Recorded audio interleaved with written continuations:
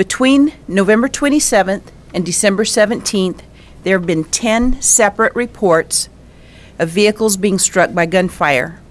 Eight have occurred in Fresno County, and two have occurred in Madera County. And Sheriff Jay Varney of Madera County is joining us here today.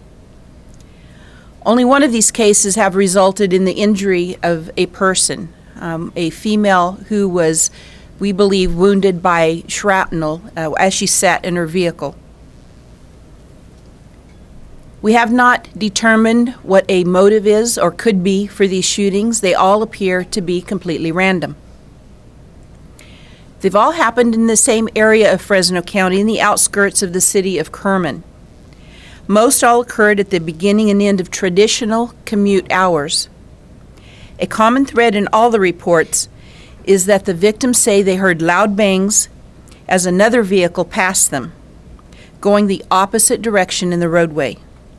They later inspect their vehicles and find bullet holes in various places.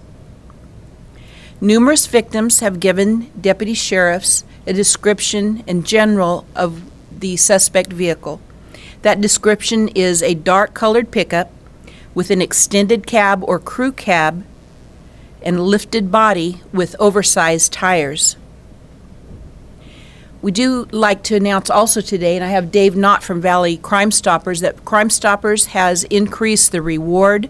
So now they are offering a $3,000 reward for any leads leading to those responsible for these shootings. We have a multi agency effort going on, not only with the Fresno County Sheriff's Office, we have significant resources that we've put towards this, but also the Madera County Sheriff's Office and the California Highway Patrol. We're all working together to try and solve these crimes. It's a top priority, and we do, again, have significant resources out there. Our challenge is many of our victims wait some time before they call. Either they will wait until they get to their destination in some case, they've waited up to three days before they report that their vehicle has been hit by gunfire. What I'm asking the public to do is if this happens to you, to get to a place of safety first and then call 911 and let us know as soon as possible that this has happened. Uh, we will have resources out there, multi agency, uh, so that we can respond as quickly as possible. As you can tell by the map, even though it looks like all of these shootings are very close, that's several square miles. So it's in a very rural area, um, several square miles apart in each of these shootings. It is interesting that uh, these are look like they're happening during commute hours. Uh, three of the shootings have happened in the morning between the hours of 6:40 and 6:30. Seven of the shootings have occurred uh, in the PM hours, most of them between 2:20 and 4:40 in the afternoon. One happened later at night, and they occur when vehicles are in motion. So as vehicles pass each other is when these um, shootings are occurring. Uh, and many times the victims think maybe another vehicle has thrown up a rock.